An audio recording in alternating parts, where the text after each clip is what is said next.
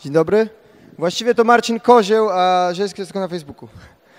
Ale to mniejsza z tym. Eee, Cześć.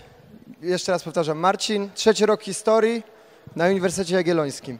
Eee, Co do studiów. Mm, Najważniejszą rzeczą, którą trzeba powiedzieć, i powiem to na samym początku, nie będę owijał w bawełnę, to są studia, moim zdaniem, dla ludzi, którzy wiedzą, co chcą robić. I wiedzą, że ich to cieszy, że czytają książki, że zapoznają się, że ogólnie poszerzają swoją wiedzę i wiążą z tym swoją przyszłość, yy, ponieważ jest, jest wiele ludzi, którzy, hmm, którzy widać, nie cieszy ich to, a, a są na tych studiach i to jest wtedy bezcelowe i to mówię od razu. Yy, Co do samych studiów. yy, Mamy trzy specjalizacje. Jest to specjalizacja ta, na której jestem, czyli archiwistyka, specjalizacja nauczycielska oraz specjalizacja antropologiczna. E, Specjalizacja antropologiczna polega na badaniach nad kulturą człowieka, jego istnieniu w społeczeństwie i e, jego wpływie na proces dziejowy.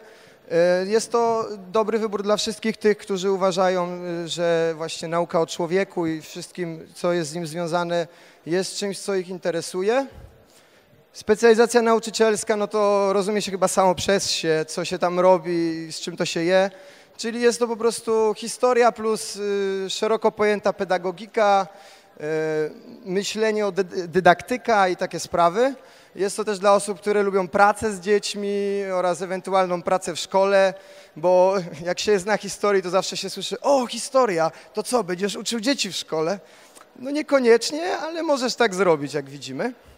E, Trzecią ze specjalizacji jest archiwistyka. Moj, moja specjalizacja, więc poświęcę jej tutaj też trochę miejsca.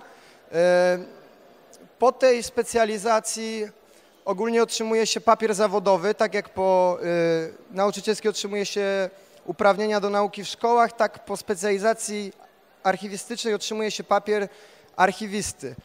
E, Sama specjalizacja wtedy polega na tym, że jest to dużo nauki o ustrojach, dokumentach, szeroko pojętej admi- pojętej administracji oraz także praktyki w archiwach. Bardzo ciekawa sprawa. Co do ogólnie historii bez specjalizacji, to y, warto nadmienić, że składa się, studia głównie składają się z konwersatoriów, czyli ćwiczeń oraz wykładów a także egzaminów epokowych, po dwa na każdy, na każdy rok studiowania.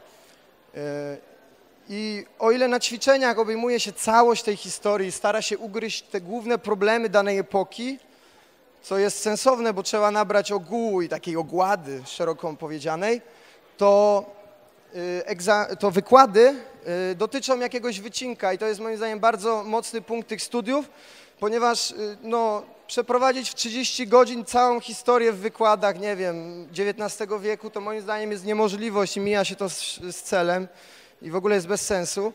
Więc wykłady u nas na studiach dotyczą jakiegoś danego wycinka y, przeszłości. Na przykład jeżeli mielibyśmy y, średniowiecze polskie, to można wybrać wykład o historii Jagiellonów albo o historii Piastów.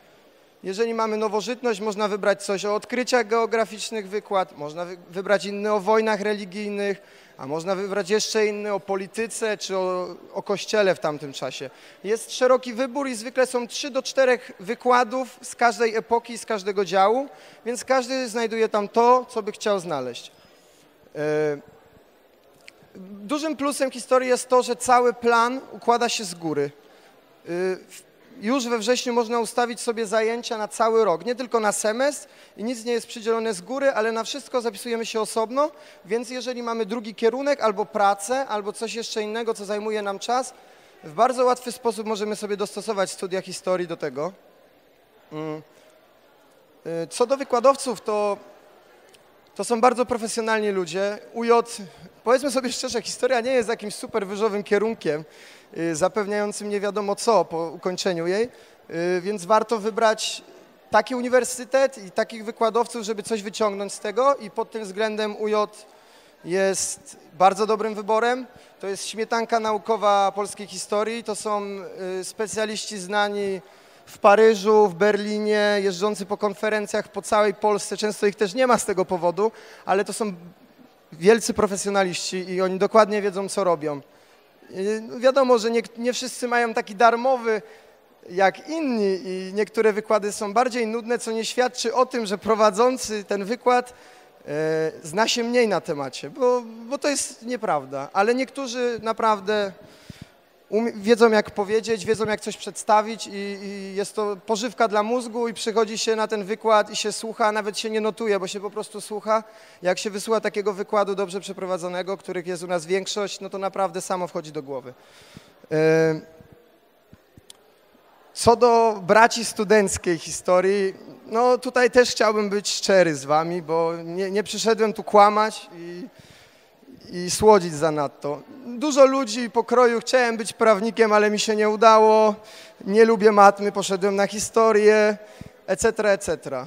I z tych 120 ludzi, których zostało nas po wszystkich przesiewach, tak naprawdę może 30-40 osób wie, co robi, wie, co chce robić. Reszta tak jak mówię, nie za bardzo i też tacy ludzie się tam nie odnajdą, bo to będzie ich męczyć, a sam papier im nic nie pomoże. Tu widzę, że mam tu już trochę mało czasu, więc hmm, przejdę do, do paru innych rzeczy, które są także związane z tymi studiami. Bardzo ciekawą rzeczą jest koło historyków, studentów Uniwersytetu Jagiellońskiego. Jest to najstarsze koło naukowe w całej Polsce. Kilkanaście sekcji, duże fundusze, dużo wyjazdów i dużo pracy. Organizuje, y, każda sekcja organizuje jakieś konferencje, na które przyjeżdżają zarówno polscy, jak i za- zagraniczni specjaliści z danej dziedziny.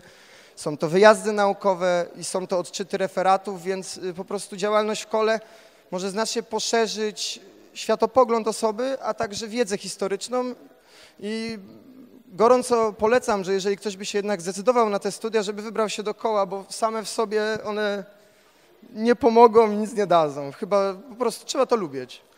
E, Co do wyjazdów naukowych, takowych organizowanych jest w każdym roku parę i są o tyle warte nadmienienia, że no ja nie byłem na słabym wyjeździe i nie słyszałem o słabym wyjeździe, może jednym, ponieważ każdy ma coś do zaofe- zaoferowania. To są wycieczki po mniej znanych atrakcjach historycznych, wszelkich jakichś klasztorach, zamkach, cmentarzach, y, z, wraz z profesorami, którzy po prostu mają to w małym palcu i mówią takie smaczki, że naprawdę człowiek chodzi i tylko wow, wow. A to kiedyś było nudne, niesamowite. E, Ciekawym też jest, że często na takich objazdach y, pojawia się, pojawiają się pokazy archiwalne. Jest to arcyciekawa sprawa, bo historia ze szkoły i ogólnie taka historia, jaką, jaką w większości się wam kojarzy, to są, to są daty, to jest oglądanie książki w kółko. Y, No i tak trochę jest, bo to jest, to jest, to są studia o czytaniu i pisaniu. To, są, to jest 300-350 stron tekstów historycznych w każdym tygodniu i parę prac w semestrze dłuższych, po parę stron do napisania. Ale właśnie kiedy przychodzi taki, taki wyjazd idzie się na pokaz archiwalny i ma się w rękach oryginał, pierwszy egzemplarz Konstytucji 3 maja, wartość rynkowa 15 milionów złotych, a ty możesz to sobie pokartkować i popatrzeć, jak oni tam bazgrolili i kreślali, jak im się coś nie podobało, no to naprawdę robi wrażenie. Jakieś zeszyt do nut z podpisem Chopina. Yy, Widziałem bardzo wiele rzeczy i nie chcę się tutaj chwalić, dlatego poja- pojawią się tutaj te, tylko te dwa przykłady, ale na, naprawdę warto. I, I co jeszcze jest istotne, tak w roli podsumowania, y, studia różnią się trochę od tego, jak ludzie, którzy y, interesują się historią, je sobie wyobrażają, bo to jest zupełnie coś innego niż czytanie y, nie pseudonaukowych, ale popularno-naukowych książek, bo to jest dużo nauki metodologii, nauki tego, jak to ma wyglądać i, i ogólnie szeroko pojętego wszystkiego wokoło tej historii, a nie samej historii. Na początku mnie to denerwowało, ale teraz y, z perspektywy czasu wiem, że to jest konieczne, żeby po prostu poznać tą naukę. A co do perspektyw, bo to może Was ciekawić, co niektórych, no to tak jak powiedziałem, jeżeli, jeżeli wiesz, że, że umiesz to robić, wiesz, że Ci się to podoba i chcesz to zrobić, to myślę, że znajdzie się na tyle miejsc w archiwach, czy w szkołach, czy na uczelniach, żeby Was pomieścić, ale jeżeli historia, bo, bo nie wiem, co ze sobą zrobić, to, to wtedy odradzam. Będę szczery. Bardzo dziękuję. E, Będę tam, jakby ktoś chciał się zapytać, czegoś dowiedzieć. E, I dziękuję jeszcze raz.